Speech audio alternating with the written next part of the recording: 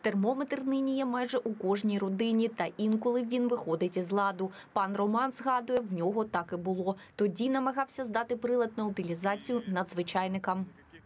Когда я туда зашел и предложил сдать им свой ртутный градусник на утилизацию, мне об эт- в этом отказали. Тогда я сказал, что ну, у меня нет другого выхода, я его оставлю здесь, потому что у меня маленькие дети дома, они его разобьют и будут гораздо хуже.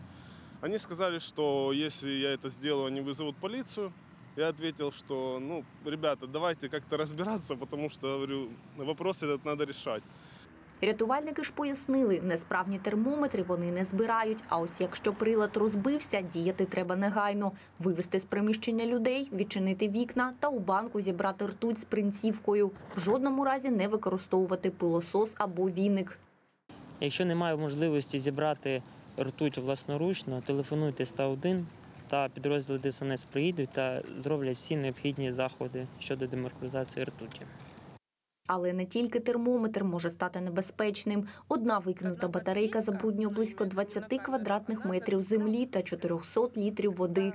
Тож куди діти зіпсовані прилади? Авторка петиції та проекту «Здавати не можна викидати» Валентина Абалмасова запевняє, вирішити цю проблему можливо.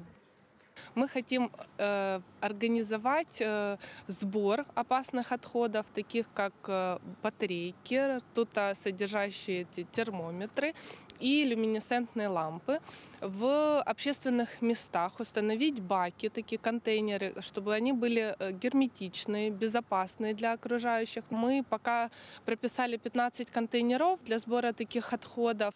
Та головне питання, як потім утилізувати те, що назбирається в баках, каже пані Валентина. Домовлятися треба з фахівцями з інших міст. Найближче підприємства з переробки ртутних відходів є в Одесі та Дніпрі. Наталя Мнацаканян, Віктор Зубенко, телеканал Донбас.